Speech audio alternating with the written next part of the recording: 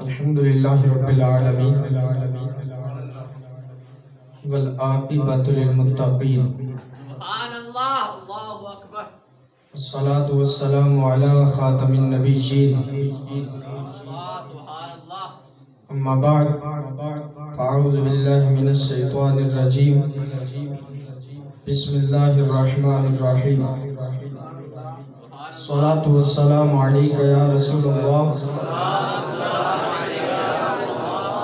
وعلى آلك وأصحابك يا حبيب الله. الصلاة والسلام عليك يا نبي الله.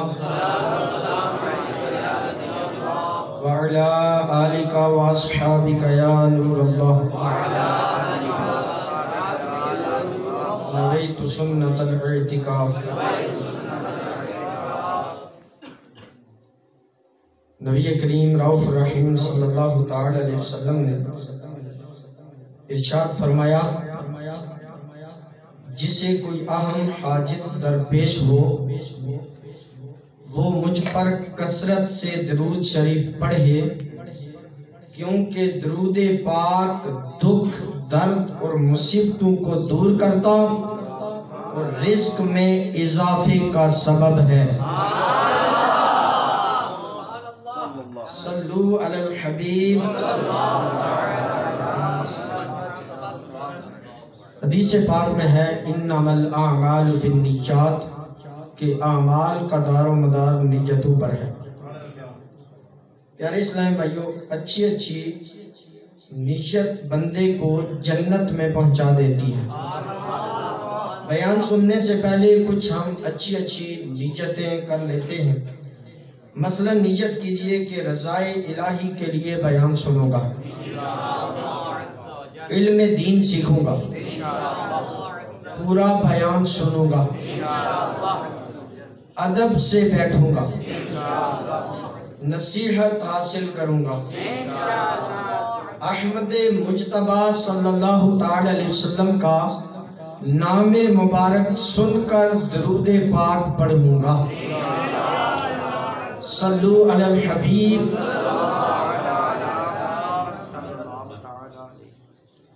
ہے عاشقان رسول، آج وہ عظیم الشان رات ہے کہ آج سے کم و پیش چودہ سو سال پہلے اس رات زمین و آسمان کو سجایا گیا۔ ستارے زمین کی طرف جھک رہے تھے۔ ہر طرف دھوم مچی ہوئی تھی۔ جنت سجائی جا رہی تھی۔ فضائیں مہک رہی تھی۔ ہر طرف خوشیاں ہی خوشیاں تھی کلیاں کھل رہی تھی۔ پھول مہک رہے تھے۔ ہر طرف بہار ہی بہار تھی۔ ہر طرف انوار و تجلیات کی بارش برس رہی تھی۔ مزے کی بات یہ ہے کہ یہ سارا اہتمام جس کے لیے ہو رہا تھا وہ دو جہاں کے دولہ محبوب خدا صلی اللہ تعالی علیہ وسلم اپنی چچا زاد بہن حضرت ام ہانی رضی اللہ تعالی عنہ کے گھر میں چین سے آرام فرما رہے تھے۔ قربان میں شان عظمت پر سوئے ہیں چین سے بستر پر۔ جبریل آمین حاضر ہو کر میراج کا مدہ سناتے ہیں۔ ہے آج عاشقان رسول، آج میراج کی رات ہے۔ آج کی رات فرشتوں کے سردار حضرت جبرائیل امین علیہ السلام بارگاہ رسالت میں حاضر ہوئے اور میراج کی خوشخبری سنائی آج کی رات معراج کے دولہ امام الانبیاء صلی اللہ تعالی علیہ وسلم نے مسجد اقصا میں تمام نبیوں اور تمام رسولوں کی امامت فرمائی۔ آج ہی کی رات اللہ پاک نے اپنے محبوب علیہ السلام رسول ہاشمی کو آسمانوں پر سیر کروائی۔ جنت و دوزخ دکھائی گئی۔ عرش پہ بلایا گیا۔ آج ہی کی رات اللہ پاک نے اپنے سب سے محبوب نبی صلی اللہ تعالی علیہ وسلم کو اپنے دیدار سے مشرف فرمایا۔ پارہ پندرہ سورہ بنی اسرائیل آیت نمبر ایک میں خالق کائنات ارشاد فرماتا ہے، سبحان اللذی اسرا بعبدہ لیلا من المسجد الحرام الى المسجد الاقصى ترجمہ کنز العرفان پاک ہے وہ ذات جس نے اپنے بندہ خاص کو رات کے کچھ حصے میں مسجد حرام سے مسجد اقصا تک سیر کرائی ہے عاشقان رسول معراج ہمارے آقا و مولا محمد مصطفیٰ صلی اللہ تعالی علیہ وسلم کا عظیم اور منفرد معجزہ ہے۔ نبی کریم صلی اللہ تعالی علیہ وسلم مکہ مکرمہ میں حضرت ام ہانی رضی اللہ تعالی عنہ کے گھر آرام فرما رہے تھے۔ اچانک چھت کھل جاتی ہے۔ فرشتوں کے سردار حضرت جبرائیل علیہ السلام حاضر ہوئے۔ اللہ پاک کا پیغام سنایا۔ میراج کی خوشخبری سنائی سرکار علی وقار مکی مدنی تاجدار صلی اللہ تعالی علیہ وسلم براق پر سوار ہوئے۔ نبی کریم صلی اللہ تعالی علیہ وسلم نے جب اپنے محبوب کو اپنا دیدار کروانا تھا اور یہ کہنا تھا کہ محبوب مجھے دیکھے اور میں اپنے محبوب کو دیکھوں تو اب اللہ رب العزت نے صرف فرشتوں کے سردار حضرت جبرائیل امین علیہ السلام کو نہ بھیجا بلکہ چاروں مقرب فرشتے حضرت جبرائیل، حضرت میکائل حضرت اسرائیل، حضرت اسرافیل علیہ نبینا علیہ السلام ان تمام مقرب فرشتوں کو اللہ رب العزت نے اپنے محبوب کی بارگاہ میں بھیجا اور صرف چاروں فرشتوں کو ہی نہیں بھیجا، بلکہ ستر ہزار فرشتوں کی بارات لے کر حضرت جبرائیل علیہ السلام اپنے محبوب علا نبینا والی السلام کے گھر تشریف لاتے ہیں اور نبی کریم صلی اللہ تعالی علیہ وسلم کو عرض کرتے ہیں، یا رسول اللہ صلی اللہ تعالی علیہ وسلم، آپ کو آپ کا رب اپنی بارگاہ میں بلا رہا ہے۔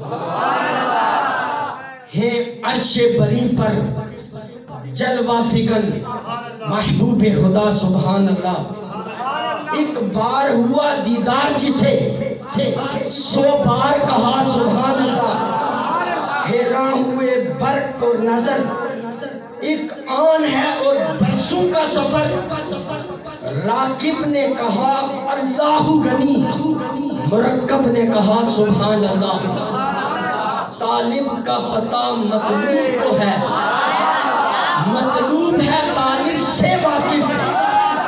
پردے میں بلا کر مل بھی لیے۔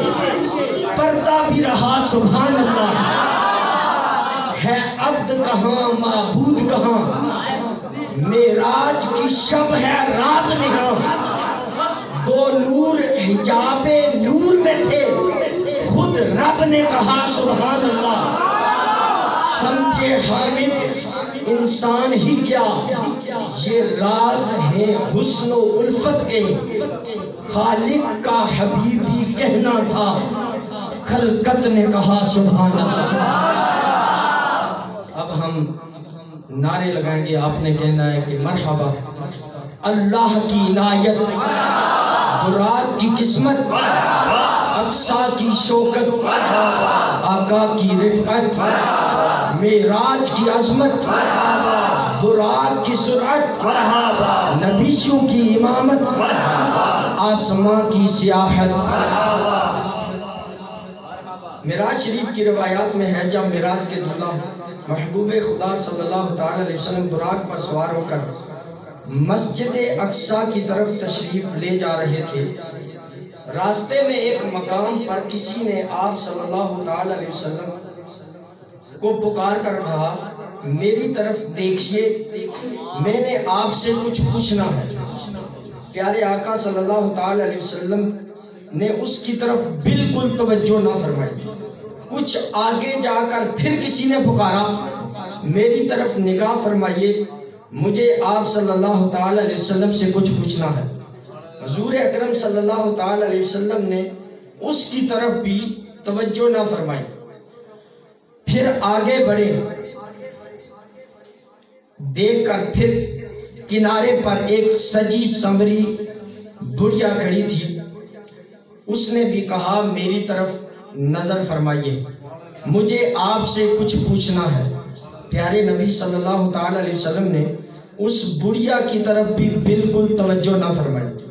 حضرت جبرائیل امین علیہ السلام نے ان تینوں کے متعلق وضاحت کرتے ہوئے عرض کی، یا رسول اللہ صلی اللہ تعالی علیہ وسلم، پہلا شخص جس نے پکارا تھا، وہ یہودی تھا۔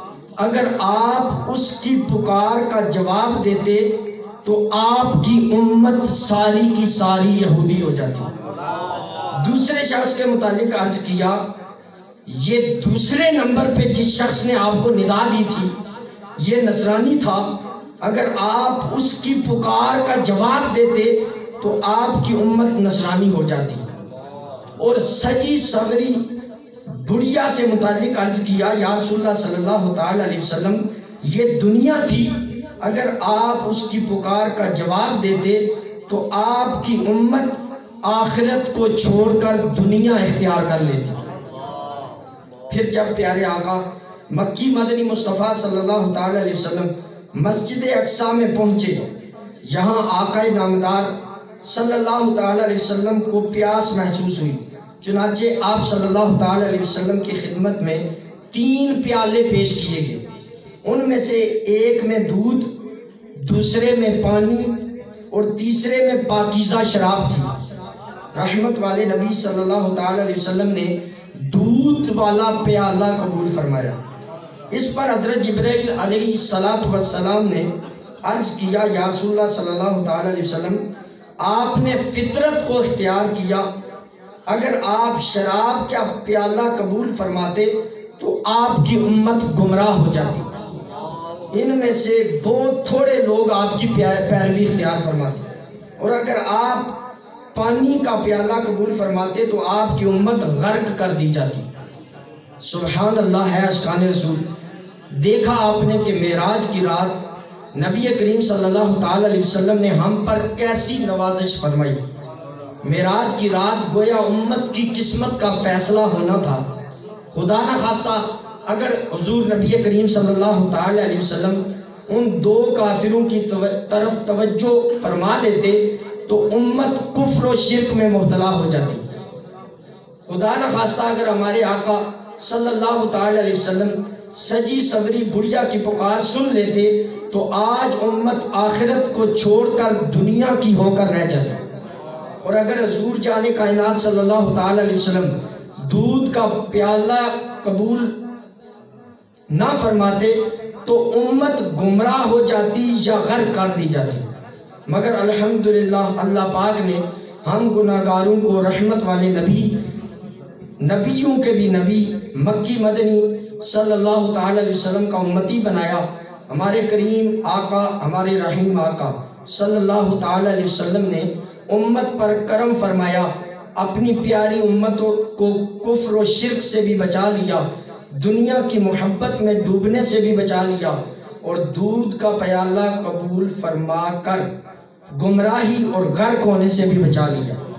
لہذا آج یہ امت اپنے کریم آقا صلی اللہ تعالی علیہ وسلم کے ساتھ غلامی کی نسبت پر فخر کرتے ہوئے جون جون کر کہہ سکتی ہے ہے ہمارے کریم آقا، تیری میراج کے تو جانے کہاں تک پہنچا؟ تیری میراج کے تو جانے کہاں تک پہنچا؟ میری میراج کے میں تیرے قدم تک پہنچا۔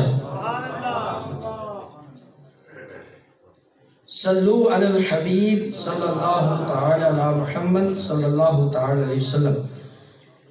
یعنی جانے کائنات فخر موجودات صلی اللہ تعالی علیہ وسلم کے صرف توجہ فرمانے یا نہ فرمانے کا اتنا اثر ہے کہ حضور صلی اللہ تعالی علیہ وسلم توجہ فرما لیتے تو امت کفر و شرک میں مبتلا ہو کر رہ جاتی۔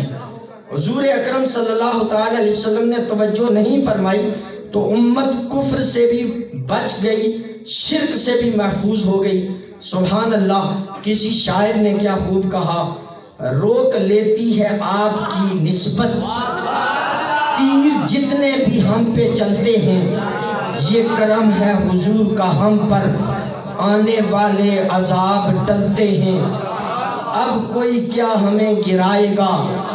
ہر سہارا گلے لگائے گا۔ ہم نے خود کو گرا دیا ہے، وہاں گرنے والے جہاں سمجھتے ہیں۔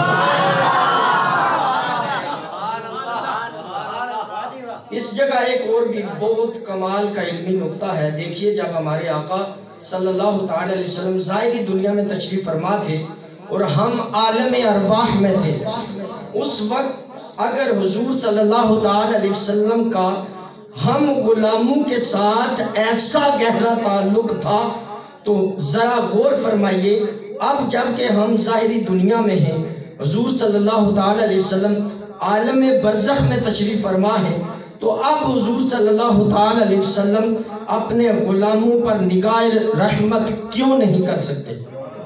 یقیناً جس طرح اس وقت نبی کریم صلی اللہ تعالی علیہ وسلم کا امت کے ساتھ اتنا گہرا تعلق تھا۔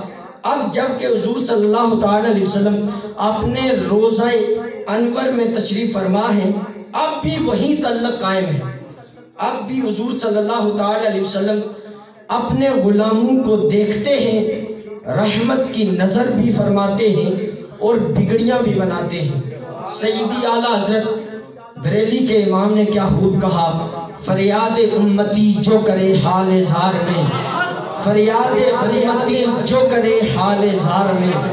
ممکن نہیں کہ خیر بشر کو خبر نہ ہو۔ اور عاشق اعلیٰ حضرت امیر اہل سنت دامت برکات ملالیہ فرماتے ہیں، امت کے حال سے وہ آگاہ ہر گھڑی ہیں خوابوں میں آ رہے ہیں، بگڑیاں بنا رہے ہیں۔ ہے عاشقان رسول معراج کی رات اللہ پاک نے اپنے محبوب علیہ الصلوۃ والسلام کو بلانے کے لیے حضرت جبرائیل علیہ الصلوۃ والسلام کو بھیجا۔ یقیناً حضرت جبرائیل علیہ الصلوۃ والسلام پہلے بھی کئی مرتبہ زمین پر آ چکے تھے۔ آپ ہی انبیاء اکرام علیہ الصلوۃ والسلام کے پاس وحی لے کر آتے رہے ہیں۔ بارہا اپنے انبیاء اکرام علیہ الصلوۃ والسلام کی خدمت میں اللہ کا پیغام پہنچایا۔ لیکن معراج کی رات کچھ خاص بات تھی۔ آج حضرت جبرائیل امین علیہ الصلوۃ والسلام جو پیغام لے کر حاضر خدمت ہوئے، وہ پیغام نہ پہلے کبھی لائے تھے اور نہ قیامت تک دوبارہ کبھی لائیں گے۔ آج اللہ پاک نے اپنے سب سے محبوب نبی صلی اللہ تعالی علیہ وسلم کو اپنی ملاقات کے لیے بلایا ہے۔ اس رات کا یہ پیغام نرالا پیغام ہے۔ علامہ قسطلانی رحمۃ اللہ تعالی علیہ نقل فرماتے ہیں، حضرت جبرائیل امین علیہ الصلوۃ والسلام، جب معراج کا مجدہ سنانے کے لیے بارگاہ رسالت میں حاضر ہوئے، تو آپ صلی اللہ تعالی علیہ وسلم نے عرض کیا، یا رسول اللہ صلی اللہ تعالی علیہ وسلم، بادشاہوں کی عادت ہے کہ جب وہ اپنے محبوب سے ملاقات کا ارادہ کرتے ہیں، تو بلا کر لانے کے لیے سب سے قریبی کو بھیجتے ہیں۔ یا رسول اللہ صلی اللہ تعالی علیہ وسلم، میں آپ کو ساتھ لے جانے کے لیے آیا ہوں تاکہ میرا شمار بھی آپ کے خادموں کی صف میں ہو جائے۔ اللہ اکبر عشقان رسول، یہ کیسی عظیم نوازش ہے جو آج کی رات حضرت جبرائیل علیہ السلام والسلام پر ہوئی۔ فرشتے تو لاکھوں کروڑوں اربوں خربوں تھے مگر محبوب صلی اللہ تعالی علیہ وسلم کی خدمت میں خاص پیغام پہنچانے کے لیے حضرت جبرائیل امین علیہ السلام کا انتخاب ہوا۔ یہ گویا حضرت جبرائیل علیہ السلام کی معراج تھی۔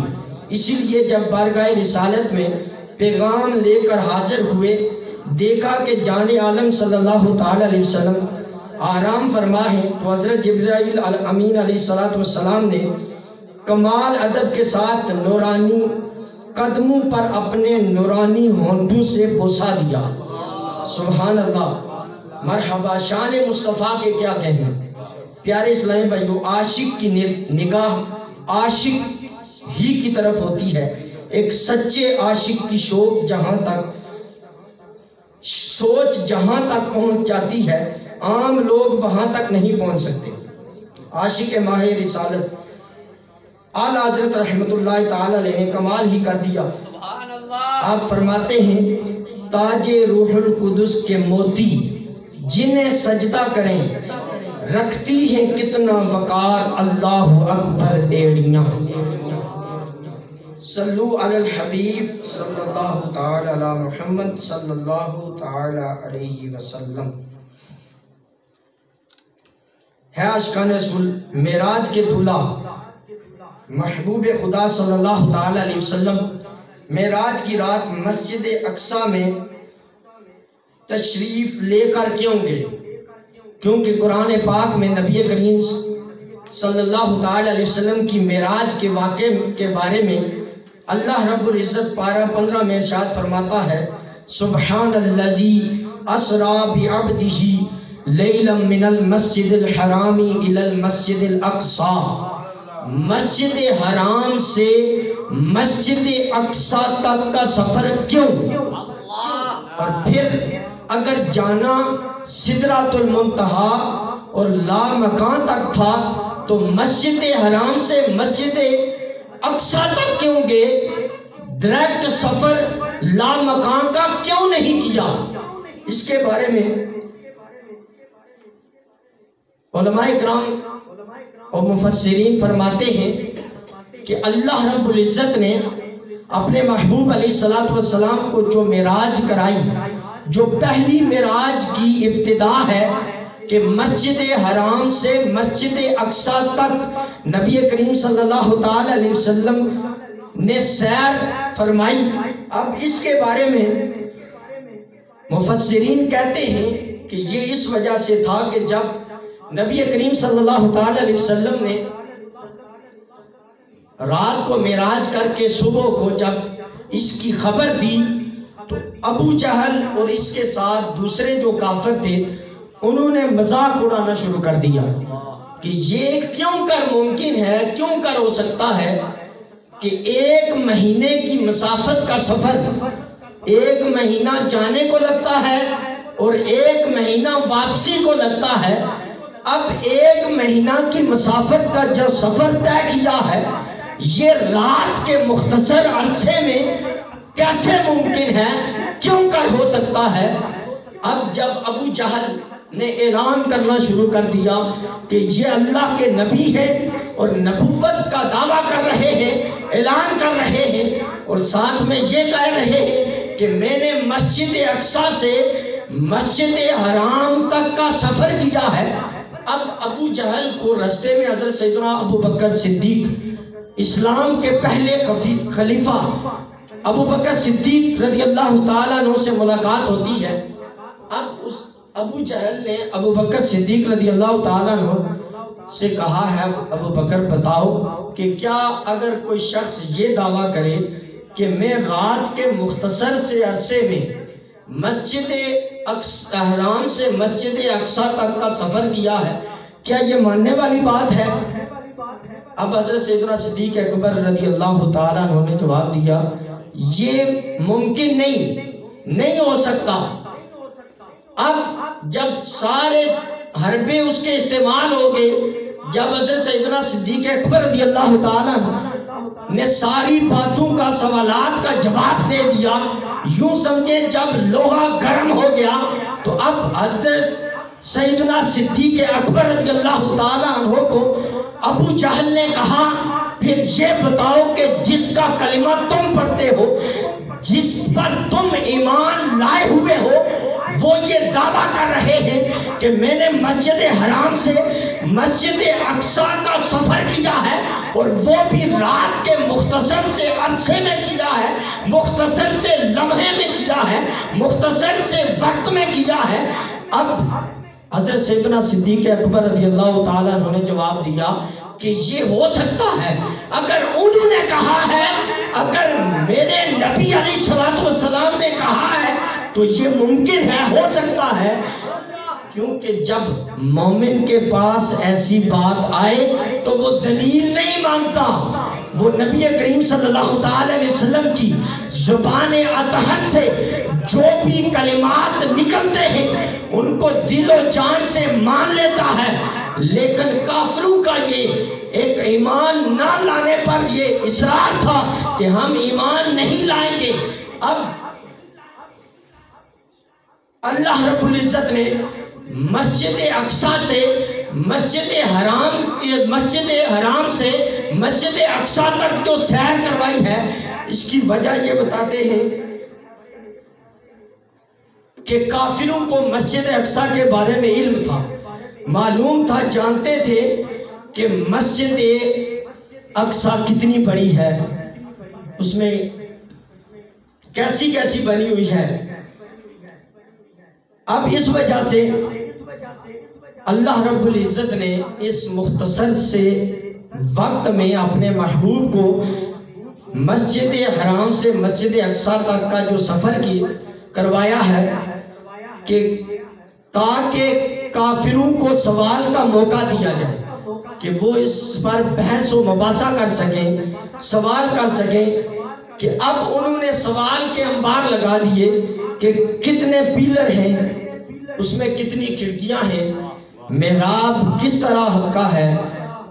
اب کھڑکیوں میں اور دروازوں میں اب کیلیں کتنی لگی ہوئی ہیں؟ اب اس طرح کے سوالات کرنے لگے عام ہم جب بھی مسجد میں آتے ہیں، ہم تو مسجد کی کھڑکیوں کو، دروازوں کو اب اس کی زیب و زینت کو نہیں دیکھتے، بلکہ نماز پڑھ کے، ذکر اللہ کر کے چلے جاتے ہیں۔ لیکن نبی کریم صلی اللہ تعالی علیہ وسلم ایسے جواب دے رہے تھے جیسے اللہ رب العزت نے مسجد اقصا کو حضور کے سامنے رکھ دیا۔ نبی کریم صلی اللہ تعالی علیہ وسلم نے اس طرح جواب دینا شروع کر دیے کہ مسجد اقصا ان کی آنکھوں کے سامنے ہے، تو پھر کافروں پر جو مسجد حرام سے مسجد اقصا تک جا سکتا ہے، کافروں کو ماننا پڑا کہ جو نبی مسجد حرام سے مسجد اقصا تک کا سفر کر سکتا ہے وہ پھر رات کے مختصر عرصے میں، مختصر وقت میں، رات کے اس مختصر لمحے میں لا مکان تک بھی جا سکتا نعرہ تکبیر، نعرہ رسالت نعرہ رسالت نعرہ حیدری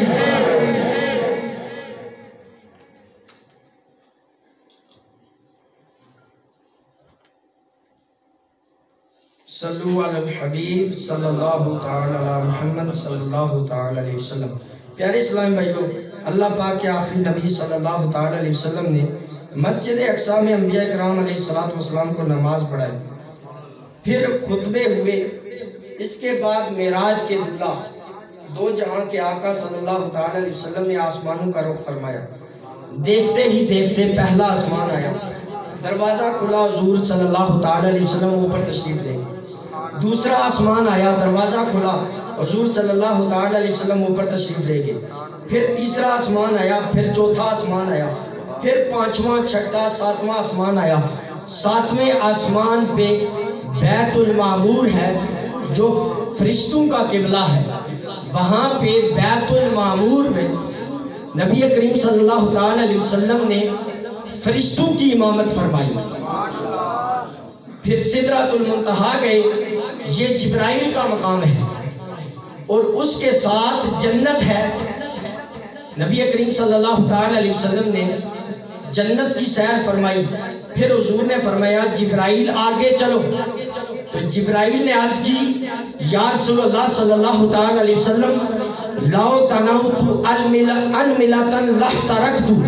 اگر انگلی کے پورے کے برابر بھی آگے بڑھوں تو جل کر راک ہو جاؤں جبرائیل امین علیہ السلام کی طاقت کا عالم یہ ہے کہ صدرات المنتہا سے صدرہ سے زمین تک آنکھ چھپکنے کے برابر تشریف لاتے ہیں۔ ان کی طاقت کا عالم یہ ہے کہ کوہ تور کو اپنے ہاتھوں پر اتنے بڑے پہاڑ کو اٹھا لیتے ہیں۔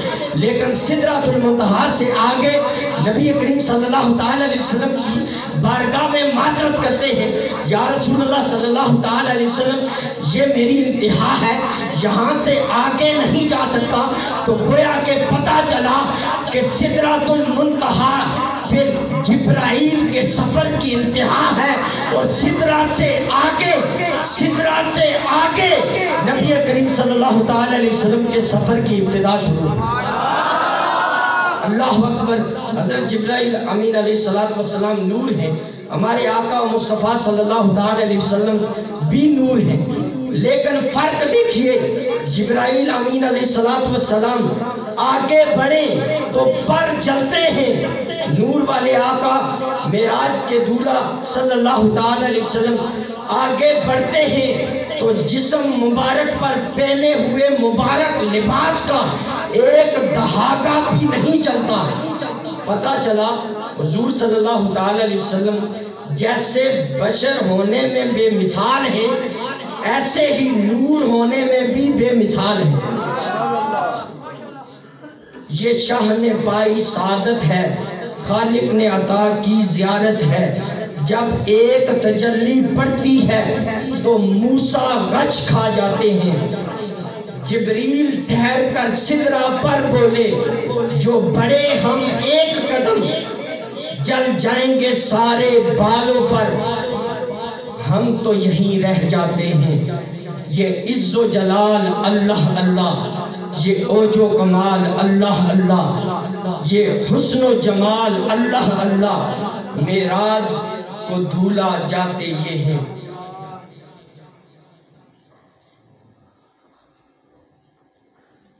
اب صدرات المنتہا، جب نبی کریم صلی اللہ تعالی علیہ وسلم پہنچتے ہیں، تو وہاں پہ نبی کریم صلی اللہ تعالی علیہ وسلم کی بارگاہ میں ایک نورانی تخت لایا گیا۔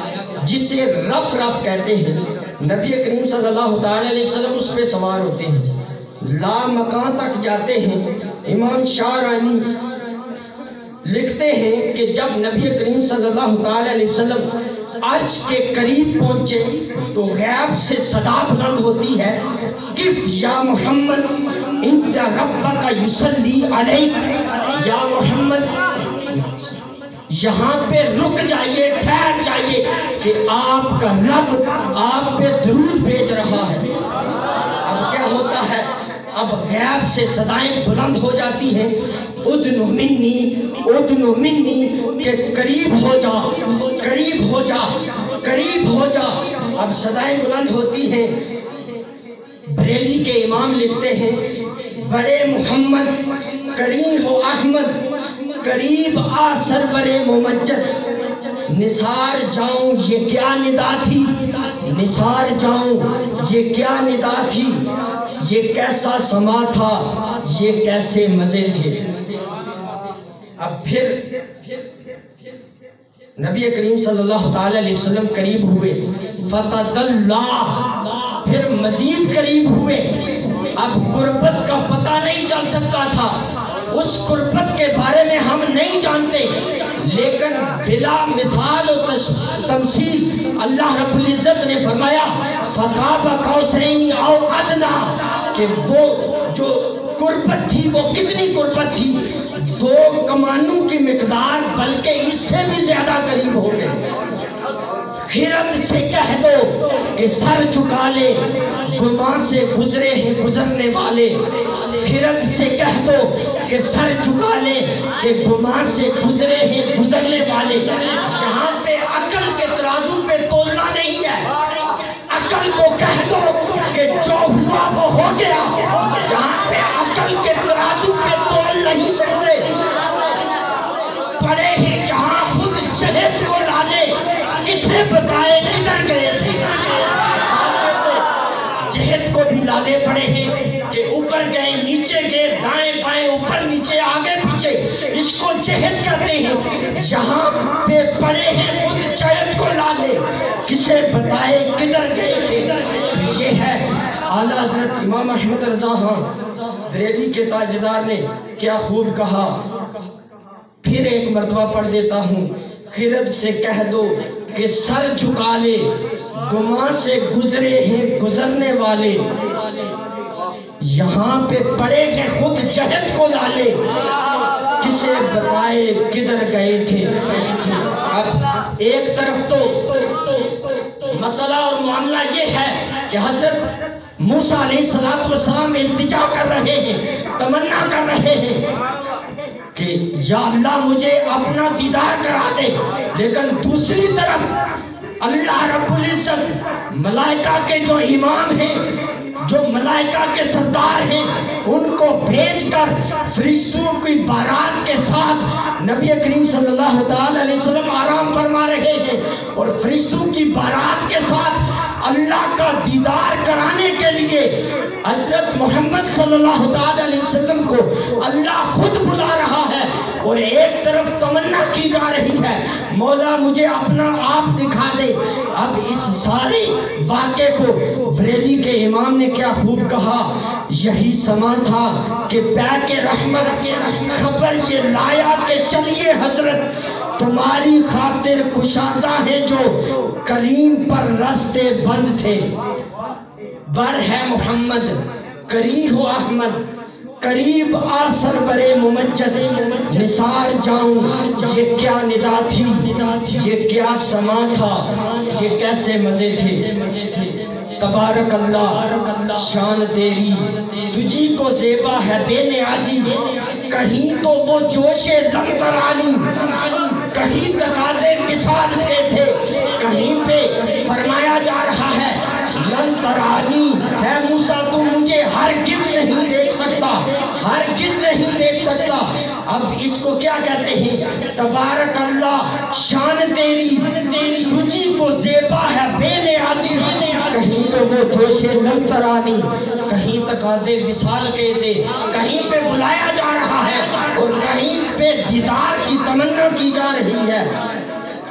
بڑے ہیں جان خود جہد کو ڈالے اسے بتائے کدھر گئے تھے۔ سراغ عین و متا کہاں تھا، نشان کیف و علا کہاں تھا۔ سوال کرتے ہیں کہ کدھر گئے تھے، کہاں گئے تھے، کس رستے سے گئے تھے، کیسے گئے تھے؟ اب یہ سوال، سارے رستے، سارے سوال سفر پہ کوئی بھی جاتا ہے، کوئی نہ کوئی سوال کرتا ہے۔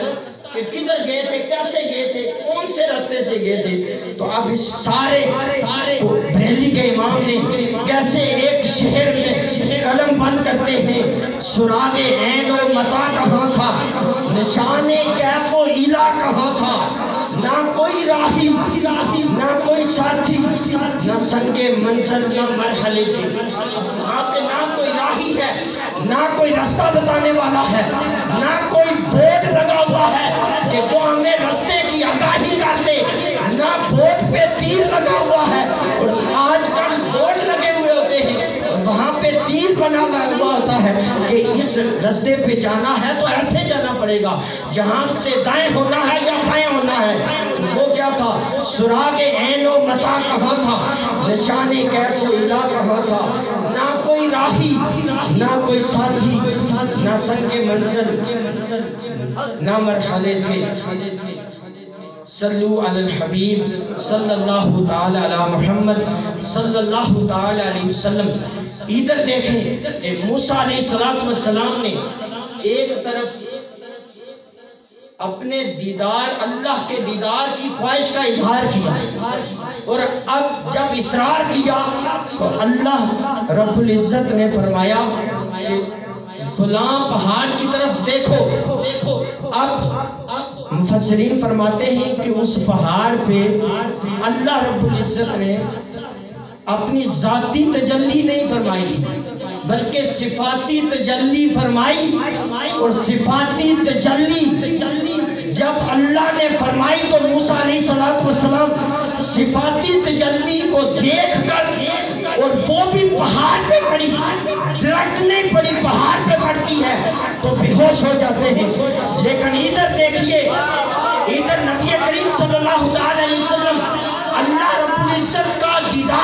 دیدار ہیں فکانا کعبہ کعبہ کو او ادنا کہ اللہ رب العزت کے قریب ہوتے ہیں۔ اب یہاں پہ اللہ رب العزت کی ذاتی جو تجلی ہے، اس کو دیکھتے ہیں۔ تو قرآن پاک کیا فرماتا ہے؟ ما زاغل بسر وما طغا کہ وہ جو آنکھ ہے، میرے محبوب کی جو آنکھ ہے، وہ نہ ہی جو دیاتی ہے نہ ہی حد سے پڑتی ہے۔ نہ حد سے تجاوز کرتی ہے، نہ ہی چدیاتی ہے۔ اب سورج کی جب روشنی ہوتی ہے، سورج اپنے آپ و تاب پہ ہوتا ہے۔ تو اس وقت ہم اس کو دیکھ نہیں سکتے۔ اس وقت ہماری آنکھیں چدیا جاتی ہیں۔ تو اب اللہ کیا فرما رہا ہے؟ ما زاغ البصر وما طغا کہ وہ آنکھ ایسی آنکھ ہے کہ جو نہ چندیاتی ہے اور نہ ہی حد سے بڑھتی ہے۔ یہ ہے نبی کریم صلی اللہ تعالی علیہ وسلم نے اللہ رب العزت کا دیدار فرمایا۔ اب وہاں پہ سب سے جو اہم تحفہ ہے، اور نبی کریم صلی اللہ تعالی علیہ وسلم کو اپنی امت کے لیے جو تحفہ دیا ہے، وہ نمازوں کا تحفہ۔ اسی لیے کہا جاتا ہے الصلاۃ معراج المومن کہ جو نماز ہے، وہ مومن کی معراج ہے۔ معراج کی رات اپنے محبوب علیہ الصلوۃ والسلام کو اللہ رب العزت نے نماز کا تحفہ عطا فرمایا۔ اور وہ بھی پچاس نمازیں پچاس نمازیں فرض ہوتی ہیں، پھر کرتے کرتے تخفیف ہوتے ہوتے پانچ رہ جاتی ہیں۔ تو اب ہمیں پانچ تو پڑھنی چاہیے۔ لیکن کیا فرمایا نبی کریم صلی اللہ علیہ وسلم؟ پچاس کے برابر ثواب ملے واقع معراج میں نبی کریم صلی اللہ تعالی علیہ وسلم نے جب جہنم کا ملاحظہ فرمایا تو کئی ایسے لوگوں کو دیکھا کہ جو عذاب میں مبتلا تھے۔ تو واپس آ کر نبی کریم صلی اللہ تعالی علیہ وسلم نے اپنی امت کو ان اعمال بد کے بارے میں اطلاع دی تاکہ میری امت ان اعمال بد سے بچ سکے اور جنت ان کا مقدر بن جائے۔ واقع معراج کی روایات میں معراج کی رات نبی کریم صلی اللہ تعالی علیہ وسلم نے ایسے لوگوں کے پاس تشریف فرمائی جن کے سر پتھروں سے کچلے جا رہے تھے۔ پتھروں کے سر ہتھوڑوں سے ان کے سر کوٹے جا رہے تھے اور ایسے جیسے کیما ہو جاتے ہیں۔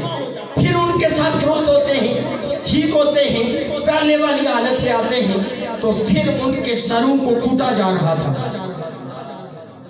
اب حضرت جبرائیل امین علیہ السلام نے آج کی، یہ وہ لوگ ہیں جن کے سر نماز سے بوجھل ہو جاتے ہیں نماز کا وقت ہوتا معذر مسجد میں حیاء علی السلام حیاء علی الفلاح کی صدائیں بلند کرتا، تو اس شخص کا سر نماز سے اوجل ہو جاتا تھا نماز سے بوجھل ہو جاتا تھا۔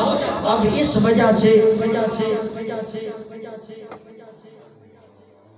اللہ کے نبی نے ایسے ایسے لوگوں کو دیکھا کہیں پہ دیکھا کہ بعض لوگوں کو سود کی وجہ سے سود کھانے کی وجہ سے ان کو عذاب دیا جا رہا بعض لوگ ایسے تھے کہ جن کی زبانیں کینچو سے کاٹی جا رہی تھی اب حضرت جبرائیل امین علیہ السلام نے عرض کی یا رسول اللہ صلی اللہ علیہ وسلم یہ وہ لوگ ہیں جو بولتے تو اچھا ہے لوگوں کو نیکی کی تو دعوت دیتے ہیں، برائی سے تو منع کرتے ہیں، لیکن خود عمل نہیں کرتے۔ اب ان کی زبانوں کو کینچیوں سے کاٹا جا رہا تھا اب ہم نے نماز کے بارے میں سنا۔ آج میراج النبی صلی اللہ علیہ وسلم کی رات ہے۔ سارے احباب یہ نیت فرمائیں کہ انشاءاللہ ہماری کوئی نماز قضا نہیں ہوتی۔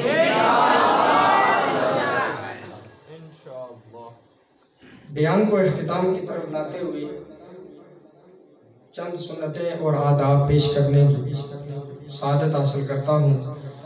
نبی کریم صلی اللہ تعالی علیہ وسلم نے ارشاد فرمایا من احب سنتی فقد احبنی ومن احبنی فقد معیہ فی الجنہ.